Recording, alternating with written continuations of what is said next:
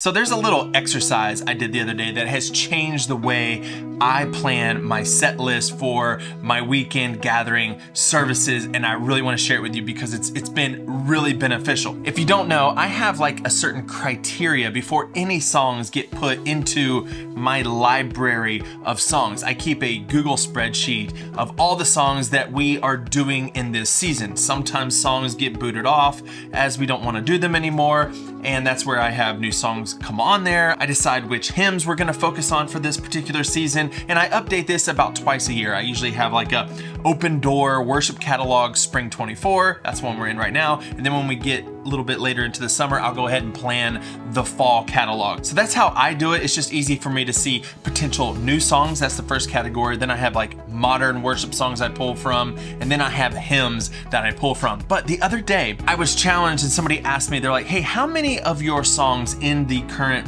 lineup um, are plural or singular, meaning how many say I and me versus how many say we and us. And I got to thinking, huh, I don't know that number. Now, there's a book that I read a few years ago that has been super helpful when thinking about worship ministry in general, and it's called The Worship Pastor by Zac Hicks. I don't have it here in my building, but I'll try to link it down below. Definitely grab that book, The Worship Pastor by Zac Hicks. And in that, in that book, there's a chapter called The Theological Dietitian, and he shares his criteria for selecting songs before they ever get sung on a Sunday. And I have definitely absorbed that information and put it into practice. I've even added a few more of the criteria. And these are criteria I use all the time to help get songs from an idea should we sing this to Sunday morning. Well, one of the first things on Zac Hicks's list says, is it aimed Godward? Is the song aimed Godward? And I love how it's worded this way. It's worded specifically this way because it doesn't rule out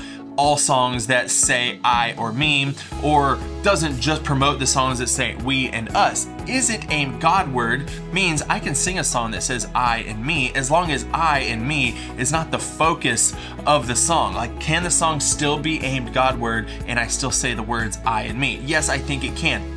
But when we are gathered on Sunday morning when we are gathered with the body, that is a different special time that is different from worshiping throughout the week alone in our car or with our family. And one of the things that's important to do is to do things and to say things and sing things in our services that remind each other that our faith is corporate. This is a corporate time. Yes, our faith is personal, meaning I can't get to heaven on the coattails of anyone else, but it's corporate in nature. It's a we are a body of believers. It's never private, but it is personal and it's corporate. So we need to do things as we're planning our services to support that, to train people because we are so uh, individualistic, especially in our culture these days. We are hyper individualistic. And so our gathering on Sunday should be countercultural, so much so that when we come in and we are taking a part in the structure or liturgy of our services, we realize something is different. And one great way to do that is to sing songs that say we and us. But sometimes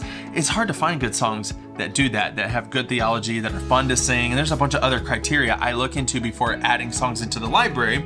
So, all that to say, I was really uh, intrigued when I was asked that question what percentage is we and I, uh, we and we and us and I and me? And I was like, I have no idea. So, I did this little practice. I went down and created like a little legend. Pink, I, I made every song in pink is written in singular. Every song in blue with the color blue is plural and I made orange a third category because some songs don't have any reference to ourselves and then some songs do both where it'll start off with I and me and end up we and us. So let me take you over to the computer and I will just show you our set list. I'll show you uh, the catalog that I pull from. Now, some things you might need to know is that at my church, we made a, a, decision a few years ago not to sing any Bethel or Hillsong. And so it's been a journey of finding new songs and new artists that we can sing that aren't Bethel and Hillsong. Now, this video is not a discussion of whether you should do that or not. It was a pastoral decision on our behalf, and I have spoken about that many times on this channel. You can go look that up. But before I show you the uh, worship catalog and how it's laid out, I want to give you something for free. It's called my six day guide to better engagement. You want to get people to sing when they show up. You hate getting up there and saying, hey, let's lift up a shout of praise, and everybody's just kind of staring at you. You, we want people to be engaged, not just because we we wanted to feed our our personal ego. Like, yeah, I'm glad something I did made somebody be engaged, but we want people engaged in worship because it's our creator. He's worthy. He's worth it all. And there are things that we can do to promote engagement and singing, and there are things that we can do that kind of squelch it. And so I'm going to give you this free guide. Download it, read it, implement it, and people will be engaged. It's the plan I use at my church. Okay. All right, here it is. Here is my Open Door Worship Catalog Spring 2024. So uh, right here, like I said, I have potential new songs, and this really was eye-opening. Out of the nine new songs that I want to introduce or that we're going to be doing soon, eight of them were singular. Remember down here, singular. Pink is singular, blue is we and us. So God Really Loves Us by Crowder is the only one uh, that I was planning on introducing probably this year that had we and us language in it. And so now I might be rethinking that because I want some of these songs, I want it to be a balanced diet. I'm not saying you can't do any singular songs, but it should be balanced. Here are some of the songs we've introduced recently. I wrote one for Easter called Our Savior's Alive.